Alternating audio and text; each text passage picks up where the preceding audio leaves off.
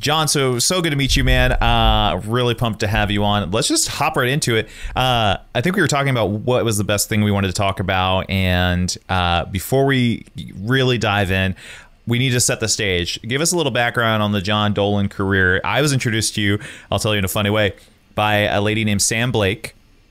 If you know her, awesome photographer Yeah. out of New York City. Yeah. Uh, and I also got second approval that you're awesome from Emily White earlier this morning. Uh, Oh, fantastic. yeah, so some good people.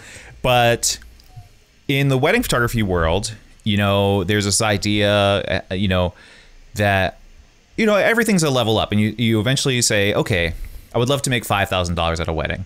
I'd love to make ten thousand dollars at a wedding. I talked to Sam, and our big thing was like, hey, if you're in the right niche, you could make even more than that. And I was like, oh, cool, awesome. And then she's like, you should talk to John Dolan. And I don't want to make this specifically about money, but I love to open up the capacity for wedding photographers who are dreaming of what it can possibly be. And that's how I was introduced to you as a $40,000 wedding guy. she didn't even mention the fun stuff, but that's all she said. She was just like, yeah, you should check out his stuff. Well, I'm going to flip this totally on its head. Do it. Because I think there's a myth about the whole growth thing, the luxury thing. And I think it's a really tricky thing for people to get in their heads. Yeah. I think, um, I think the more interesting story is that I've been doing it for 30 years, Yeah. and for the first 20 years, I was, just you know, two thousand dollars, five thousand dollars. the the big game hunting that I'm doing now is because I'm at a you know sort of uh, a senior part of my career, and it's a very I have I feel like I have a finite number of weddings in me. okay. So I, I imagine this kind of bowl of chips, and there's a finite number of chips left in that bowl. so each wedding I do really has to be exquisite. It has to be full of um, trust between the client and myself. Yeah. So when my clients trust me, then I aim incredibly high. I, I am not I'm not playing it safe. Yeah. I'm not playing it by the book. I stay away from cliches and the expected. I go for it. So it's a whole different. It's kind of a live performance, Yeah. almost like a trapeze artist sort of thing. Um, but I think it's more important for uh, photographers out there to to gain their footing slowly and and think about the long game, which is how do you build a career that you're proud of and you don't burn out. I, I meet a lot of photographers who've gotten great success really quickly Yeah. and they're just crushing it and they're doing 30 30 a year and then i see them three years later and they are just exhausted they can't remember their last bride's name Yeah. excuse me um, so you know it, when i look back on the last 30 years of doing this i see that it was incredibly uncool thing to do in the 90s and then a small group of us made it an acceptable art form Yeah. and then the 5d came out in 2005 and then it opened the floodgates Right. so you know that's a really funny transition that Yeah. it was it was a low class thing to do when I was starting out in New York City. Sure. Um, it was just the most uncool thing you could say you're doing at a photographer gathering. And then ten years later, it it it's it's open for everybody, and it's uh, it's a very welcoming community. It's a very supportive community. Uh, I mean, you mentioned Sam Yeah. and Emily. It, there's two million weddings a year Yeah. if I need 10 weddings, which is my goal every year, 10 really cool Yeah. people who get what I do, Yeah. then um, it's a whole different business model that I don't think everybody recognizes. Like, we're not uh, TGI Fridays. I'm not TGI Fridays. Yeah. I'm a small restaurant that's hard to find, not easy to get into. It, uh, you know, that you don't know what the chef's going to cook that night, but it's sort of an adventure Yeah. and and when I teach, I try to get people to start thinking about, you know, what what brand, what um, I mean, in a funny way, I'm almost like a private chef Yeah. or a private something. I'm not I'm not a vendor. I'm somebody. I'm let into the most intimate part of somebody's house, Yep. brought up into their bedroom. Yeah. I see the you know the last wedding I went to, the mother walked out of the shower with a towel around her and said, "Oh, hey, John, Yeah. fire away, buddy." I, Yeah. which was just magnificent. Yeah. Um, because it's all part of the same ethos that uh, when I uh, when I shoot your wedding, I don't have a plan. I I I don't prepare. I'm I'm so deeply prepared from all my years of doing magazine work Yeah. and storytelling that it's it's the most effortless job because there's so much packed in a day. I don't have to say a word, you know. Yeah. I do. I chat with people. I have a beer. I sit down with guests. Yeah. But I don't have to direct, which Mm. is makes it really fun. That's awesome. That's so cool. Yeah, I love that. I think, uh, and if anything, too, somebody who's been doing it for 20, 30 years, you know, and having this idea of like the finite weddings is we got to make it count, you know, and, you know, it's, it's, uh, yeah, I definitely love the private chef analogy where, you know, and you can tell, you know, uh, where clients that just trust you and they say, okay, yeah, like we hired a pro. I think I think that's one thing. Have you seen this in change from the earlier days to where, ironically, the most expensive, you know, I can say this for me, my highest budget weddings might not be that forty thousand dollar range, but my I say my five digit couples, they're the most easygoing. They're the most chill. You know, they they just say, Adam, you do your thing, whatever you think is best. That's that's the best case, and it. I, I I think if you meet people in person whenever you can, or have some sort of personal connection, Yeah. then you gain that trust, and you.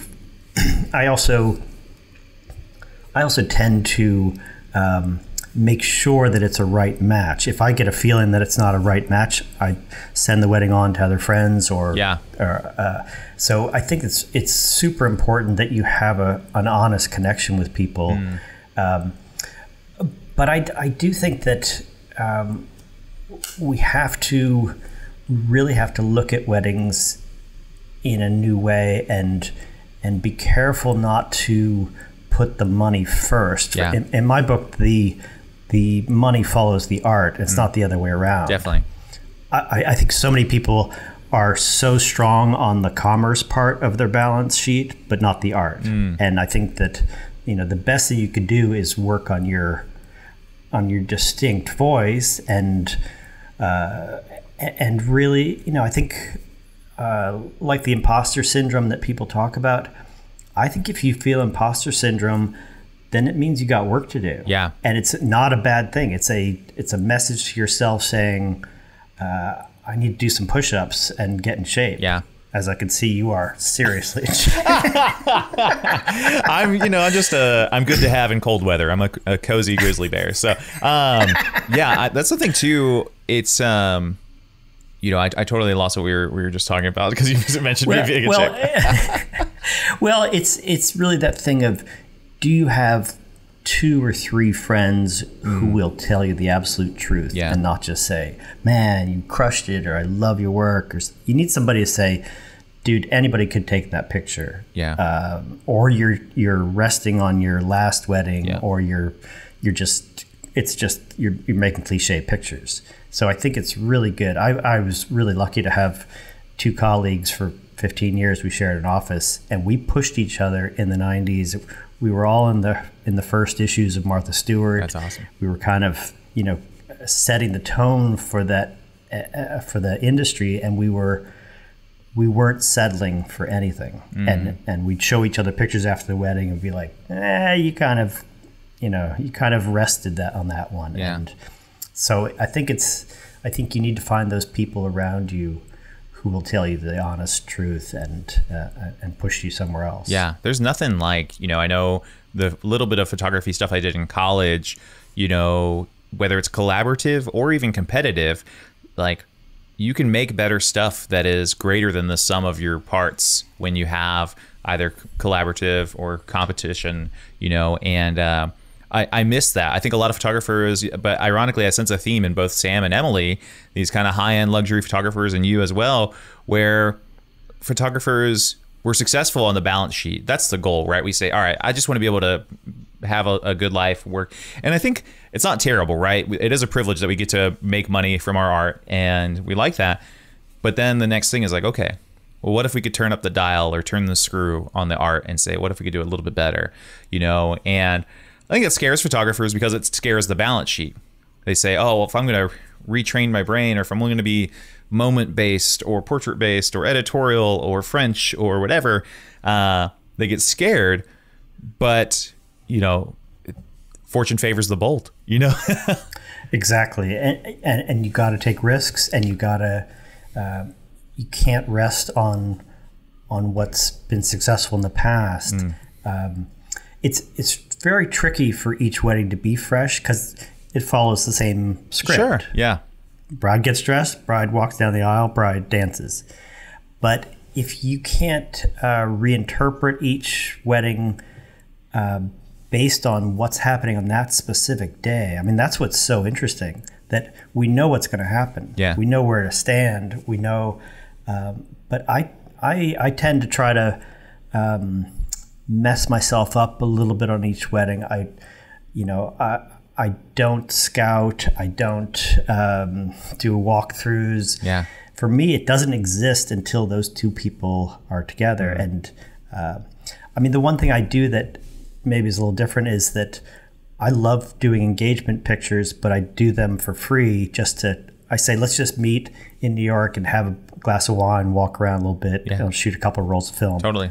I don't do big fancy setups, but I in those Sorry about my throat. That's there. all good. Uh, it, when I meet people, when I spend time with them for an engagement session, I'm making notes on how they are together. Yeah. Uh, who's awkward? Uh, I love to lean into the awkwardness, mm.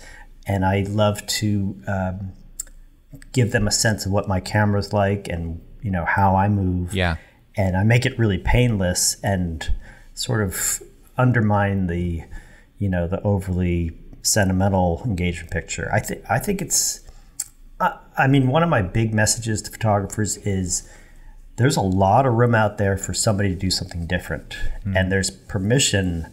There, you should feel permission to uh, to sort of um, crush your heroes and and break out, you know, a little punk attitude. Just sort of um, try something completely different do I've had some students who've done weddings for free to shake out the staleness of the photography yeah. and just say, I'll shoot your wedding if I can do whatever I want and see what that gets you. Mm. That kind of that kind of uh, giving yourself permission to experiment, I think is really important. I think social media does not encourage that. Yeah.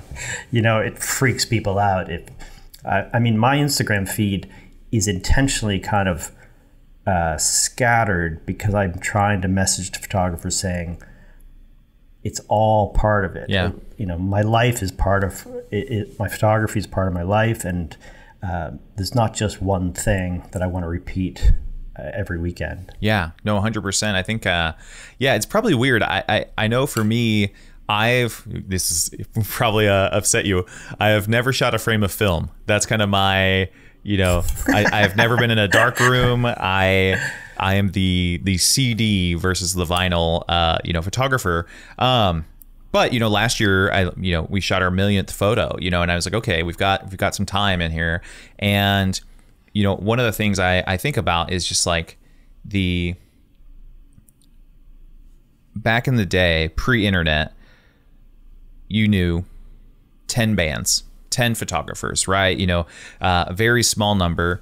You'd go, and they were all doing something different. You went, you went to each of their shows, and you're like, "Wow, that was amazing!" Or you went to a gallery, maybe, uh, and maybe that gallery photographer also shot weddings, right? Because weddings are not that cool, but it was like, "All right, I got to make some cash," and you know, things like Instagram, although inspirational, right? The uh, inspiration is good, but it's like it's um, it's not always true. You know, I, uh, the same way that we have friends that maybe uh, are fighting the uh, the fitness inspiration, right? Or like, hey, not everybody has a perfect body and six pack abs or yeah. has it together. We have to do that in the wedding world and not just say, hey, it's okay that your wedding didn't look like this, but also lean into that. Lean into whatever it is. Exactly, and I think I think musicians offer a really good model for careers. You know, it's Willie Nelson's birthday. I mean, look at somebody who's done that, or blues musicians, or jazz guys, or you know, um, I mean, Joni Mitchell's my all-time favorite. She would change each album, yeah, completely and reinvent herself. And critics or fans would th- throw their hands up and say, What "Why don't you play the last one?" Um, so I, I, think there's freedom out there, um, and it's it's. I understand the need to pay rent, but I also know that for longevity, you better feed your soul mm. regularly. Yeah, and and that's the biggest thing. It's there's a whirlwind out there, and you know I kind of um, repel against those like that podcast how they how they built this. Oh yeah, you know, yeah. I, I hear that and I see that it's selling this idea of the American success story mm-hmm. in less than an hour. Is, yeah. yeah, exactly. And I, in my experience, you know, I've had some really great big profile successes. Sure. And then I'll wake up the next day or Monday morning, I'll wake up and be like, yep, nothing. Yeah, it doesn't matter. Yeah. You know, you go up a small bit, you go up to the next plateau. Yeah. Um, you know, I shot Will Smith's wedding. I was like, that's going to be it. Yeah. New, New Year's Eve wedding. And then, you know, January 2nd, January 3rd, just life gets back to normal. yep. And um, so I, I think there's a, there's the Hollywood Disney myth of instant success and then you're going out to parties and everybody yeah. loves you.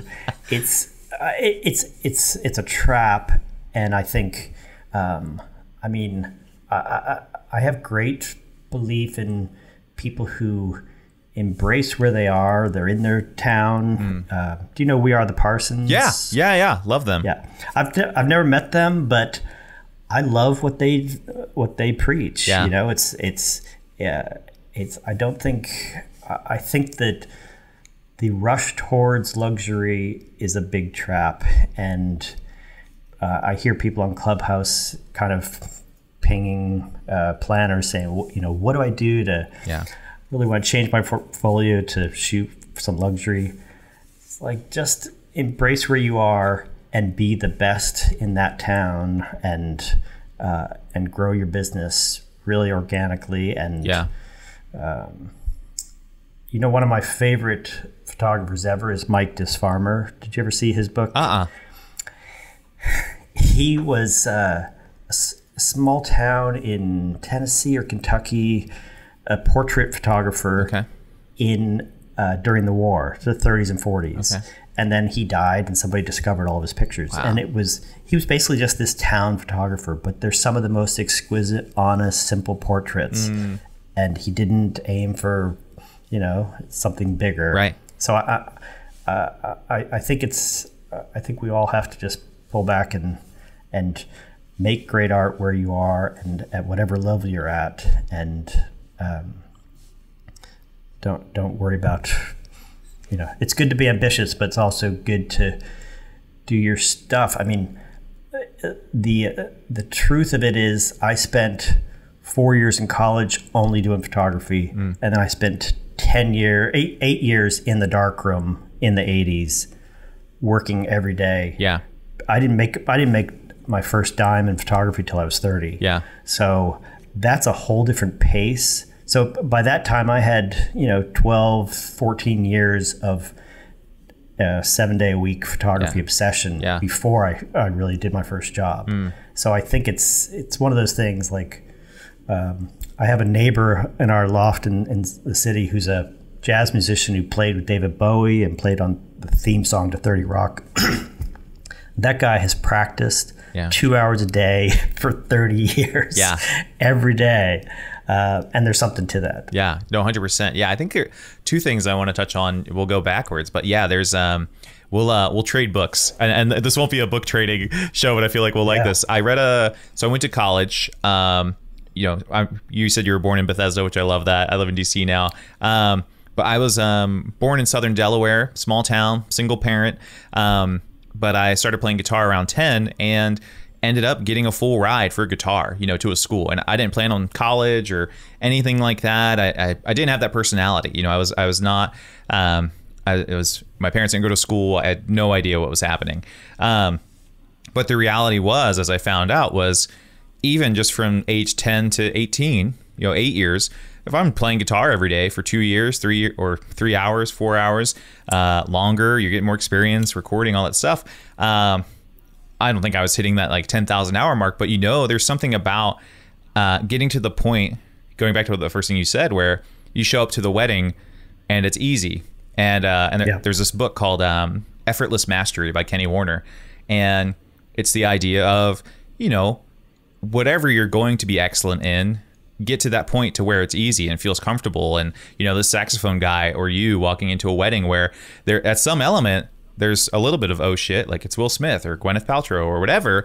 Um, and I'm sure there are probably good days and bad days where you're like, oh, do I, I have to show up? You know, I have to be yeah. the, the John Dolan they believe I am.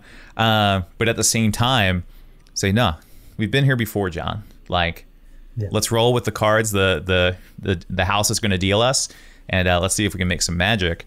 Um, so that's so good. I mean, that's that's literally that is literally what I said to myself uh, the morning of Gwyneth Paltrow's wedding. It was like, this is all I'm good at. Yeah. So just go do it because, I mean, my wife will attest. I am a terrible fixer.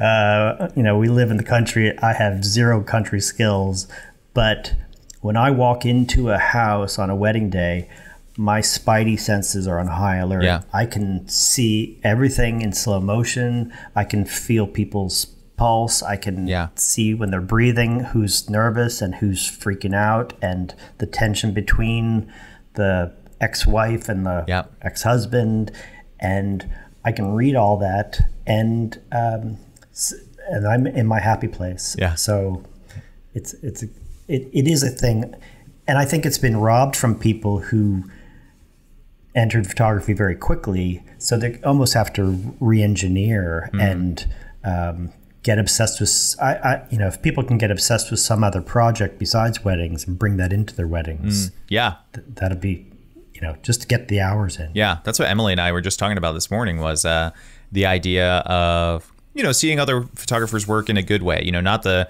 the depressing like oh i wish i shot that or oh there's too much of this going on but the idea of seeing somebody else's work and saying I'd like to try, you know, posing a couple like that, or, uh, you know, for my commerce-based business, I, you know, have my own workflow, your preset, or however you like to do things. But saying, oh, I'm going to download some other photographer's thing and just edit on this particular project that doesn't have a, a commercial stake, if you will, low risk. Um, one going back to the music analogy just to make me stronger just to make me more knowledgeable to make me better uh, you know i'm gonna you know it's kind of like back in the day they used to say that certain nfl players did ballet right and they'd always be yes. like oh yes but it's hopefully yes. it helps their balance and they're living inside their body and um, all that kind of stuff the other thing i was going to mention um, we're talking about the chasing the the business and chasing the art at least what i'm finding out i feel like over the last two years in the the luxury big space with people like you, Sam, Emily, Pat Fury, uh, Shalise Michael, lots of different stuff, and um, is I think that people are chasing the commerce, and so they okay, I have to shoot like John, but the reality is and this is something I'm learning. And for me, you know, other guitarists who are younger than me or something like that, and then you, even to photographers my age or my skill level, you see things differently than we do. And you might say, hey, you think this image is exactly the same as what I intended, but you know, this, as Emily would say, this mimic, this facial expression, or this hand, or whatever, this is what would take it from a nine to a 10, you know, or this is why I, you know, intentionally changed that. And uh, you only get that through years of experience and being willing to be critiqued, which our industry also doesn't do. And if you have a good bankroll, you know you don't feel like you need any more education. Question, yeah. Well, I think there's, I think there's, there's such an opportunity for somebody to, to. I, I said this before, but I really think what you're talking about is develop your own style, come at weddings a whole different way, and find five people who want that Yeah. And then then experiment with that or um, i mean if you keep imitating somebody else you're going to be running around in circles Yeah. and you're going to feel a little funny inside so um, I, I mean i'm thrilled when i see a photographer who's doing something completely different or i can tell who's really invested a lot and they're not just laying on a preset to make them Yeah. look like you know so it, i think um, I think it's it's a very tricky game to play, but um, but it's a thrilling ride, no doubt. Yeah, yeah. Tell me, uh, you know, a little bit about the when you approach a wedding now, and I think something we talked about over email before was the idea of uh, of the imperfect, you know, and being okay with that, and maybe even hunting for the imperfect versus the inspiration. Um, but practically, what does that look like on a wedding day? Or do you tell yourself, "I'm going to shoot this differently," or you know, how do you find that balance between uh, what you know is going to look good versus what you're trying? Or do you? Some photographers say, "Hey, I take the basic and then I take the wild," you know, just to to try it. Or are you all wild? You know, what's that look like practically? Yeah, it's it's uh, the imperfect is a, a concept uh, that allows me to not get caught up in uh, in controlling the flow. So I see the the wedding as this river raft trip. We all get on together. It starts kind of calm, and then the wedding gets going, and then you're going down the rapids, and then you know the party is kind of going over the waterfall, and all hell breaks loose. But if I uh, allow myself to um, to flow with things as they're happening, that frees me up, and it. Uh, I think a lot of photographers are type A. I'm type Z or something. you know, it's like I just. But the reason I got there is because I I used to take those perfect pictures, say the group pictures, Yeah. where everybody's sharp, everybody's looking at me, and then I would tell the people who I was shooting that I'm all done. I'd put my camera down, and they'd all start laughing. Yeah. And then I realized I would fake saying I'm all done, and then I'd start shooting. Yeah. And I would put those pictures next to each other. I'd put the sharp, perfect picture and then the other picture next to each other. And there was no doubt that the imperfect picture was truer, was more honest, was more reflection of that personality, that family. Um, and, and so that's that's sort of how it evolved. And then I just I, I just pushed it where I'm not. Um, uh, it's it's letting go of playing it safe. And a lot of people would think, you know, how could you not play it safe at a wedding? It's somebody's wedding. Yeah. It's like you have eight hours to do it. If I'm much more stressed at a 30 minute corporate portrait of a CEO, you know, those those guys scare me. But an eight hour wedding, if you miss the bride going down the aisle, you get her coming back, or I mean, Yeah. The last wedding I did in February, a small wedding in Palm Beach, the bride and groom were walking back after having, you know, the first kiss. They're walking towards me. Yeah. And I'm shooting with my Leica, but I also shoot Super 8 just for fun as sort of a gift. so I put it on top of the Leica, and I'm walking backwards with both because I couldn't decide. Yeah. I'm a Libra, I don't know which way to go, and you know, squirrel in the middle of the road Yep. and you know uh, uh, it's it's that's just it's at a point in my life this is their wedding i have to go for it so Mm, love it's that. the inverse of playing it safe Yeah. and Yeah, there's something you uh, you had mentioned. I think that was uh, the idea of, well, yeah, yeah, it just comes down to values. Is you don't want the perfect photo if it means you lose a like a emotional moment or a fleeting moment or something like that. You know, I, it's it's really about believability Hmm. I, I don't believe a lot of the perfect pictures yeah, i've been married 30 years i'm very happily married marriage is not perfect yeah, and uh, I think that's that's that's what I was really fighting against. That there was a trend maybe ten years ago of making these absolutely sharp, perfect, beautifully lit. You know, like this is the best day ever. All these kind of things. Yeah. And I just started thinking that, you know, the industry is creating this pressure on a 28 year old bride to for this day. If one, I started seeing people freak out when one thing would go wrong because they were you know, imagine their wedding not getting into a blog or. Mm, yeah. Um, so that's really where it came from too. Is that that we as an industry, we can't put all this pressure on people to for this to be heroic, magnificent, the bride and groom on a cliff at sunset. that that ain't marriage. Yeah. It may be a cool picture. Yeah. But you know, if people don't realize that was three weeks before the wedding, they're saying to the photographer in Milwaukee, "Can we do this at sunset?" No. Yeah. Like no. I mean, I do group pictures in twenty three minutes or less. Same. I mean, yeah. uh, it's like get to the party. Yeah. It's all yours. Go. Totally. No. So it's it's a it's an ethos of it's not my wedding, it's theirs. I'm there to document things as they happen. I'm a naturally romantic, classical. You know, I make classical pictures. I don't think my pictures are they're not wild or cutting edge. They're more timeless Yeah. and um, and but they have to have they have to ring true to that moment on that night in uh, and that's really the test. Is it is it something that the uh, the uncle next to me with his iPhone 12 could have shot in or did I bring something in my authorship to that picture that made it particular? So you know it's it's um it's it's it's about pushing yourself. Yeah. No, I love that. What has been, you know, for for people who, you know, something I'm starting to think about, right? I'm I'm I'm 32, been shooting for 10 years, and I'm look I'm like, okay, what's the uh when do I need to be thinking about the exit plan and what's the exit plan or um good luck yeah, yeah, exactly. let me know let me know when you find yeah. it So I literally um do you know Ryan Brenizer? He's a New York photographer. no, No? Okay.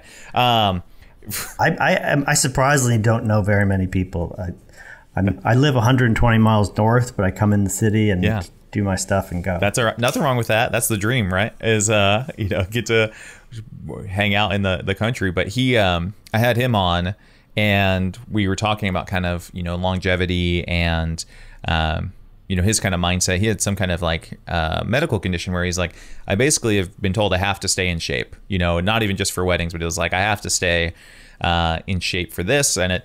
I think it's going to help for weddings. And then I had another photographer who told me, you know, I'll stop shooting when my jokes stop landing. You know, and uh, so what is uh one? What's what are your just current thoughts about that? And then two, you know, have there been any things that have helped you personally, whether it is like a, a simple trick or rules of thumb that you've established, boundaries maybe that you keep? You know, I, I assume you're not shooting a triple wedding weekend, obviously, uh, whereas the the young dumb guns like myself do every once in a while.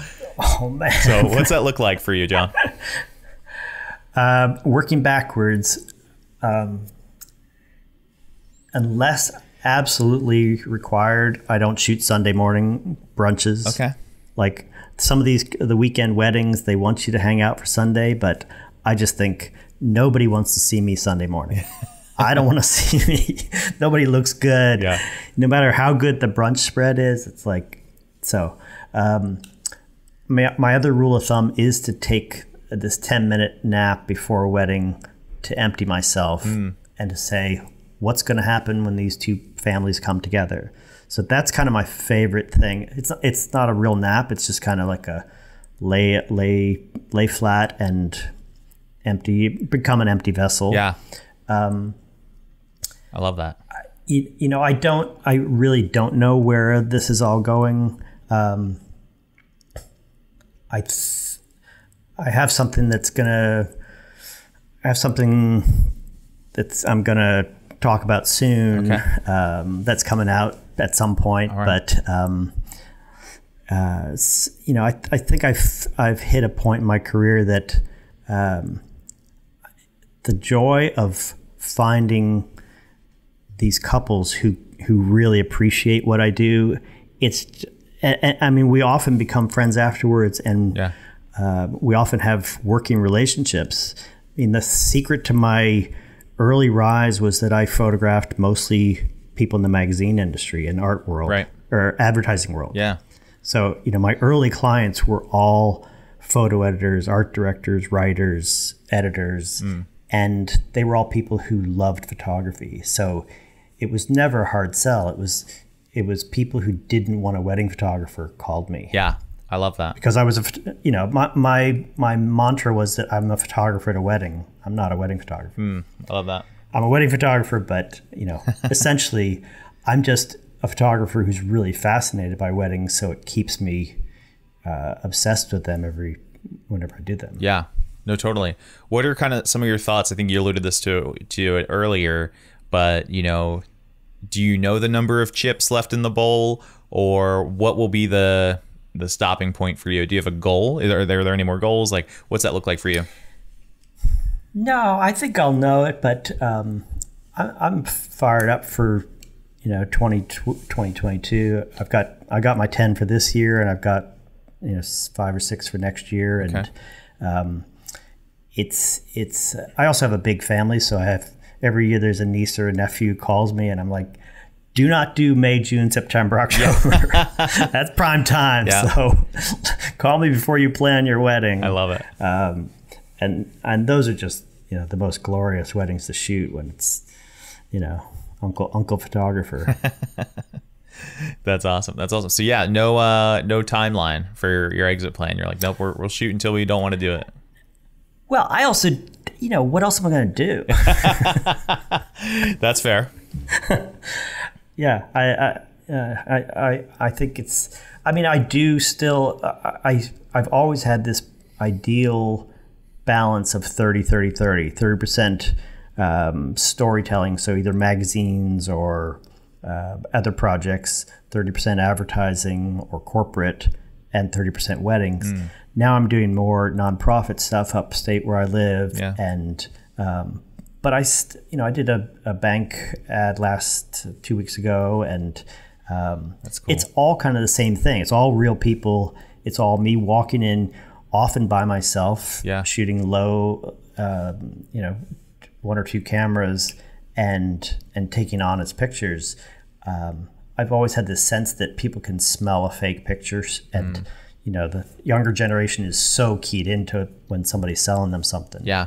So that authenticity thing, I've you know I've I've, I've heard that I've watched that word be on Everything. briefs for AdWorld for the last ten years. We need diversity and authenticity. Yeah. Yes, we do. Let's do it. I love it. I love it.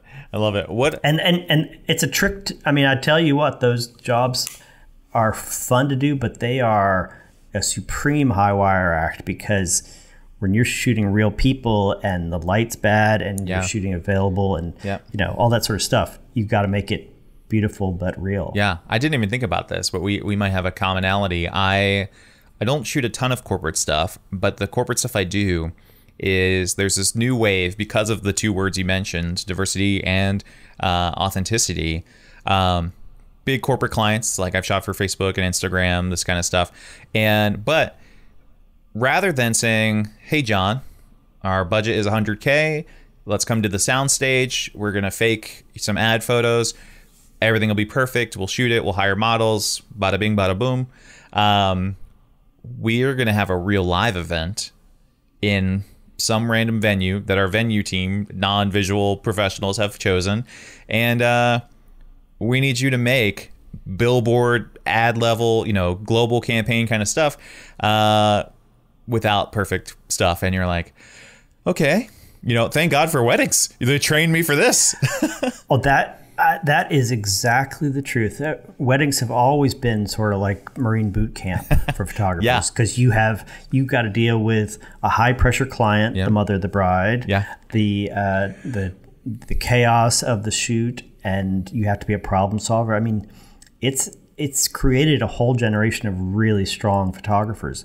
I, I, think it's an amazing uh, there's an amazing skill set out there.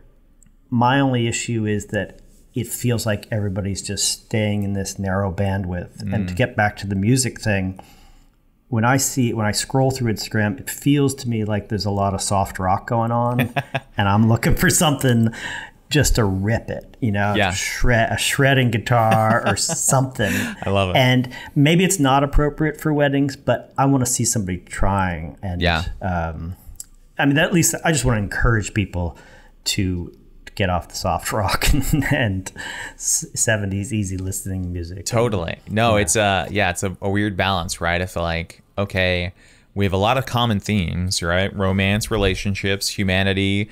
Uh, you know, we're we're both married, right? So there's a lot of commonalities. There's you know probably more common than uncommon, but as far as the you know the storytelling, or even just for the sake of like we talked about cool pictures, right? I do feel like the maybe the elopement or the adventure. They said, well, what if we just take normal couples into cool places? We're like, okay, okay, yeah. we add a different yeah. ingredient. You know, that's like the. Uh, that's like, hey, kale, you know, always been a thing, but now it's popular. Let's put some kale and stuff. But then, yeah, it's like, what will be the next? Uh, what's going to go further? You know, it, who will be the Marilyn Manson? Well, well, or I mean, I love mixing metaphors. So the kale thing to me is interesting because I think there's a lot of melancholy at weddings. Mm. I think there's a a range of emotions. I think people are there's a sense of loss at some weddings. Yeah. There's something, some skin skin being shed. There's, uh, you know, people in transition, and but but photographically, so many people only show the happy moments mm. when in fact I, I just think there's richness in that the arc on a wedding day of stress and anxiety and you know there's like this massive kaleidoscope of emotions mm. so you know open it up and um, bring a little, little salt into the sweet. yeah, you know. Yeah. Um, that that's that's that's basically what I'm preaching is, you know, um, mix it up, imperfect, messy, a little bit uh, spicy, a little bit sour. You know, make it a richer meal, and then the pictures are more interesting. A lot of the people who find me are are desperate for that. They've said we've looked at 50 websites and everything looks exactly the same. Yeah.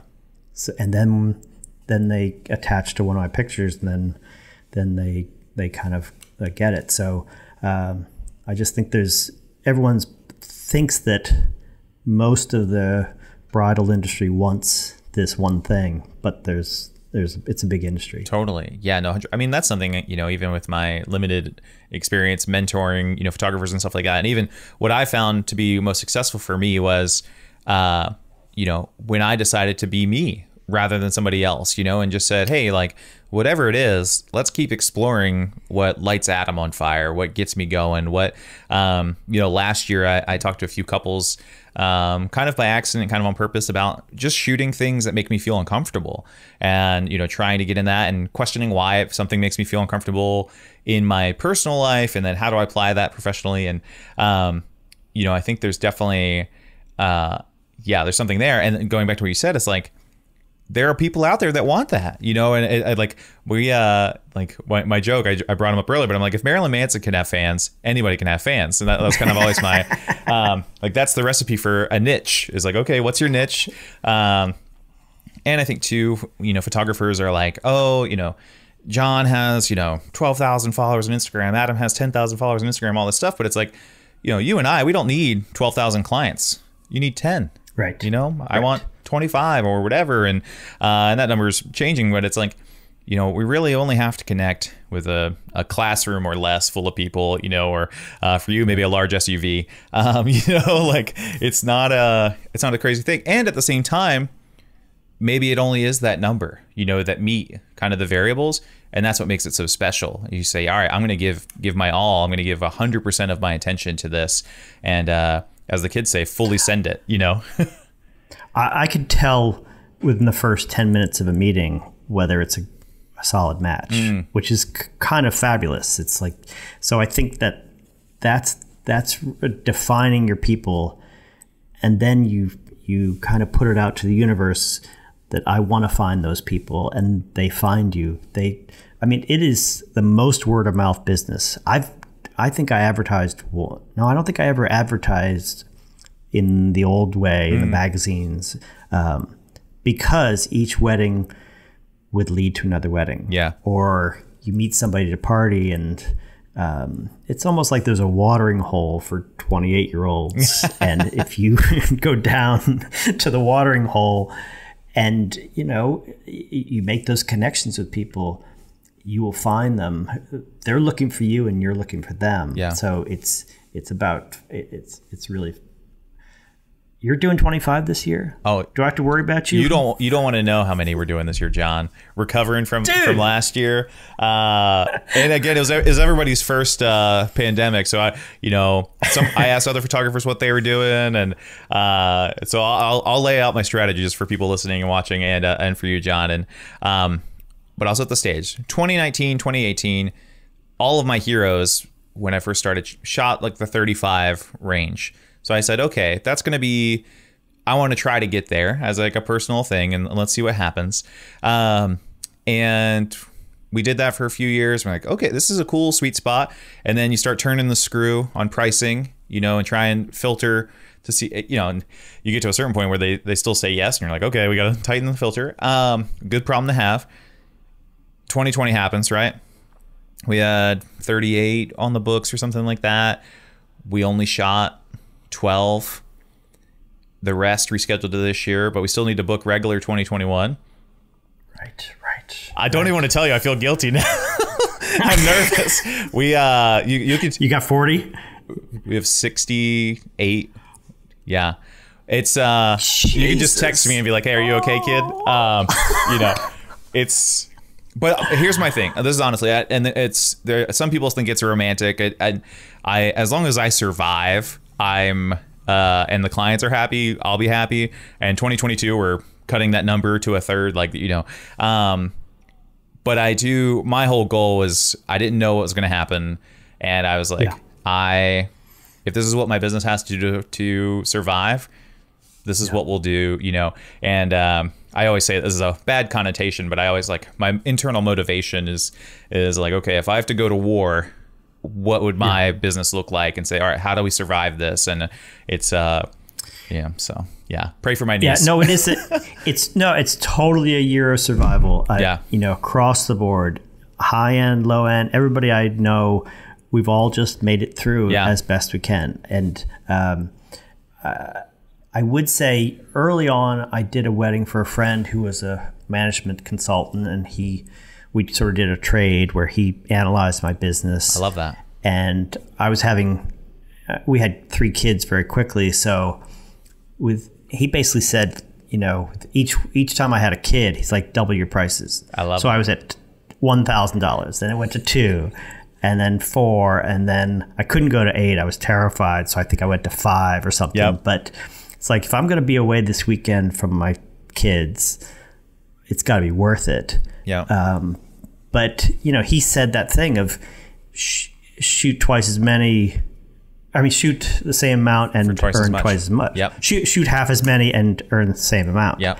Um, so it's you know now prices are so much higher than when I started that it is it's pretty shocking that people will pay five ten thousand bucks for a wedding Yeah. at the drop of a hat. But you know, thank Martha Stewart. She she brought the industry up for everybody. yeah.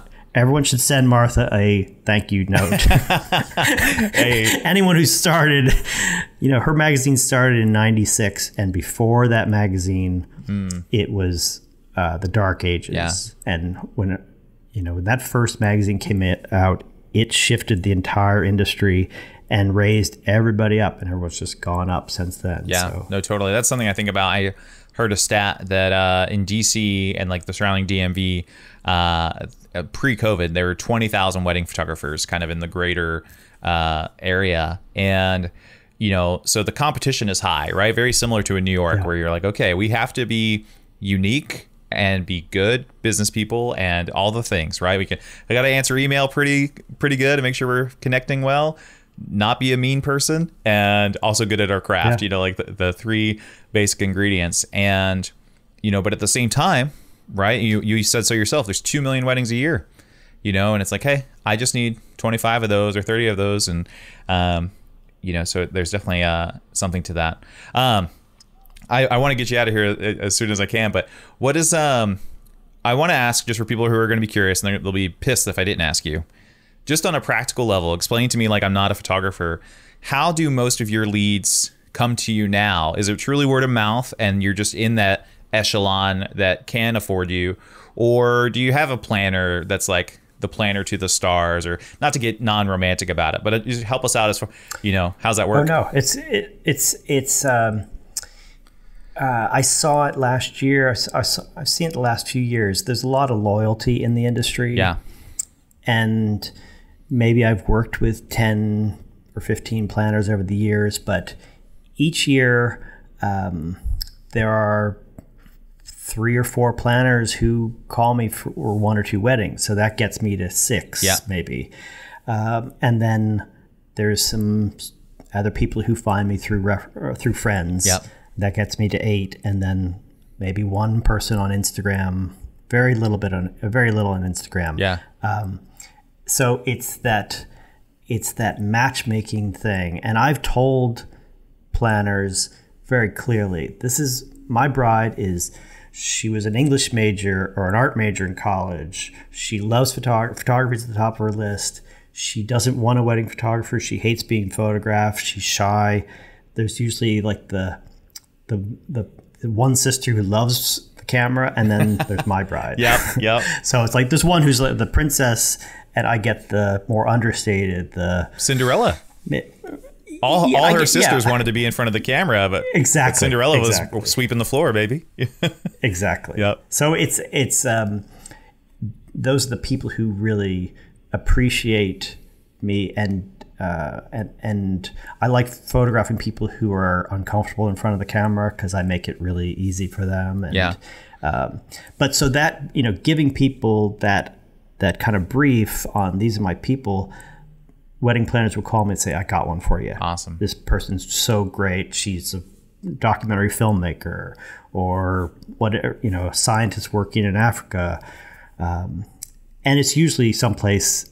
Uh, outdoor, somewhere in the country or something. I'm not, you know, I'm, I'm terrible at lighting, and um, so I'm not much of a city photographer. And um, and and when you define who your people are, then you've given that planner, uh, like a casting agent, an idea of who you, what you're good at. I love that. So I love that. again, it gets back to the restaurant thing. I'm not trying to appeal to every person. And I think there's a trap that a lot of photographers fall into, which is we are pleasers. It's like, you want us to do that? You want us to get up at dawn and shoot this? Absolutely. We're going to crush it. But from a marketing standpoint, I don't want to appeal to everybody. Yeah. So it's you're, you're it's a very inverted kind of American business model. Yeah. Because we want to stay small. We don't want to be Chipotle. Or, Yeah. You know, No. it's so it's it's I'm I'm trying to. That's why I said let's turn this upside down instead of the forty thousand dollar model Yeah. conversation. It's like. How does everybody be a, small, cool taco truck Yeah. in Austin, Texas? Yeah. Yeah. Like, how do you be? Yeah, there's got to be something to it to where you're appreciative or appreciated, and you know, or like That's it. The That's it. the idea of having a car like i you know i, I always my- the metaphor that's been working in the last few few years in my brain was okay i've been a honda civic. I've been reliable. I've been great. I've been uh, everybody likes me. You know everybody would rent me at the airport if they could and you know whatever. But what what does Mercedes think or what does Lamborghini think? You know, what what are the choices they're making? What does that process look like? And um, I see you as the uh, Mercedes Jeep, like the Mercedes SUV, like all black, you know. Uh, John, I have to. Kinda. I have to. I'll send you a photo. So I have a G wagon on my desk, yes, all blacked out. I knew it. So I, I knew uh, it. that means a lot to me. Um, I'll send you an embarrassing photo after this, but um, yeah, you know, and I think that is kind of thinking about higher value or experience based decisions. You know, where it's not a for the for the buyer. You know, right? Because they could just Well, hire I- somebody. Yeah, uh, what I'm looking for is that moment when you show up on their wedding day and you walk in and they they say, "Oh my God, he's here! This is so great! This is gonna be so great!" Yeah. That and the bride has told all their friends, like, "This guy is not gonna boss us around. He's not gonna Yeah. make us do dumb stuff Yeah. and jump on the bed and stuff." And so they're already on my side, and that's when you know it's a perfect match. It's like you're let into the inner sanctum, and you're an intimate observer Yeah. and a very welcomed guest. So Yeah. you know that's that's the whole thing that I'm working towards is to be that person who's you know really excited that they're excited to have me there. Yeah. I'm excited to be there. Yeah, that you're a family member, and there's other Yeah. benefits to that. Is that you know you can walk around with a camera and they don't look at you awkward or notice you. Exactly. You know, and Yeah. um, that's one of my favorite compliments or reviews. Was the bride was like, he took all these photos I didn't know he took, which are awesome, and I didn't even know he's there. And and I always laugh. I'm like, I'm a 300 pound bearded guy. Like. I've never been told I was stealthy, you know, by any means. So, you know, I'm very obnoxious. It's all those ballet classes, classes paid off. yeah, exactly, exactly. Awesome. I love it. Well, John, uh, thank you so much. We'll have to have you back on. I really uh, appreciate it. I wish we had more time, but um, where's the best place? Where would you want to send people to? I'm happy to link to you know the imperfect article and or you know where can people go to chat with you and, and uh, check out some of the awesome work and see what you're doing. Uh, that's great. The uh, yeah, my blog has the imperfect article. You have to search for it a little bit. Um, I'd say my Instagram has a pretty good flow these days. Okay. Uh, if you want to see some pictures of our sheep and uh, and random old, I, I dip into my archive a lot this winter, and um, so I'm showing some old editorial stuff. But uh, yeah, I don't do much. else. I don't do any Facebook, and That's awesome. That's awesome. so. Uh, but DM me anytime. Awesome. And I'd, love to come back and chat again. Awesome. I love it. Thank you so much, John. And we'll uh you'll have to host like some kind of workshop or retreat at the farm sometime or whatever. Yeah. Uh, well, there's plans to that. okay. I'll keep an ear out. I'm uh, actually heading down to Georgetown for a wedding tomorrow. So Oh, that's awesome. see see in DC. I love it. I love it. Thank you so much, John. okay, buddy.